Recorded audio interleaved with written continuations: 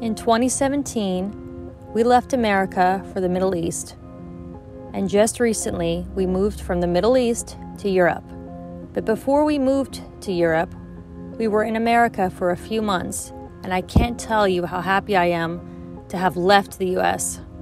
Before I get into this video, I just want to say that there are lots of things about America that we love. But unfortunately, it does seem like America as a whole is an empire in its death throes and it all boils down to one thing the quality of life is declining. I find it ironic that my grandparents immigrated to America for a better life, and now many people are leaving the US for the exact same reason. Want to walk to get some fresh air? Want to get in shape? Want to see beautiful architecture when you walk? Not here. Unless you live in a place like New York City, you cannot walk anywhere. There are strip malls everywhere.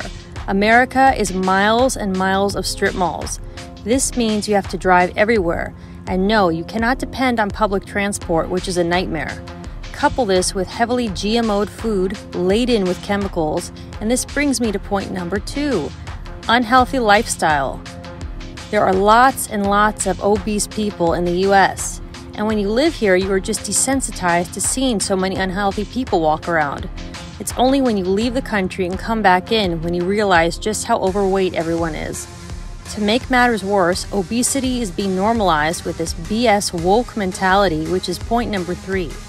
Whether it's promoting unintelligent, trashy role models or saying that obesity is healthy, the woke mob has pretty much won the culture war. Many parts of America are unsafe, Growing up in the Washington, D.C. area, there were many times when I was almost physically assaulted walking down the street in broad daylight. Contrary to popular belief, life does not have to be this way. You can walk down the street safely in many other parts of the world. In fact, I felt 10 times safer walking around in Bahrain than I did in America, which blows people's minds when I tell them.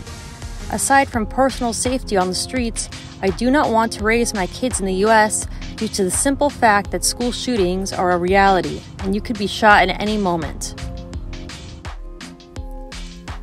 Due to the horrific public school system, many Americans are dumbed down.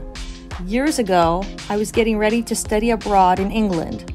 When I told my coworker I was going to England, she asked me with a completely straight face, Do you speak the language there? I was in shock.